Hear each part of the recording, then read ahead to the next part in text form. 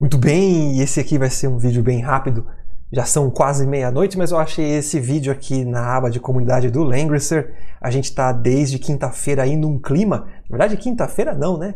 Desde segunda-feira num clima assim de esquenta para o 4.0. São quatro anos de Langrisser. O aniversário do jogo oficial aqui no Global é no ano que vem, mas o lançamento vai ser baseado com o servidor chinês. A gente vai receber a atualização agora no final do ano. E este aqui é um evento de é, comunidade, vamos dizer assim.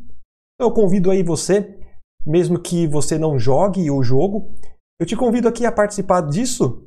Vou deixar um link na descrição que vai levar até essa página aqui do Face. E você tem que colocar ali uma, uma tag, eu acho que é Fight for You, Languager Mobile, alguma coisa assim. E se eles baterem uma certa meta, eu vi que algumas das metas ali já foram alcançadas, mas a gente conseguindo essa meta, todo mundo vai receber ali premiações dentro do jogo. E isso é uma coisa bem legal, né? Porque são quatro anos, não são quatro dias, nem quatro meses. A gente sabe hoje em dia, jogo online, você pisca, aparece um jogo novo. É difícil de manter relevância por o quê? 15 dias? 7 dias? 15 dias? É complicado. Imagina quatro anos, né? Então, e o Langrisser é um dos jogos assim que, que, nossa, todo ano é alguma coisa diferente bonecos novos, mecânicas novas, novos itens, novas coisas para fazer, novos jeitos de melhorar os seus bonecos. Sempre tem alguma coisinha diferente, né? Agora a gente está também com essa parte de fortaleza voadora, então tem também essa parte de gerenciar recursos.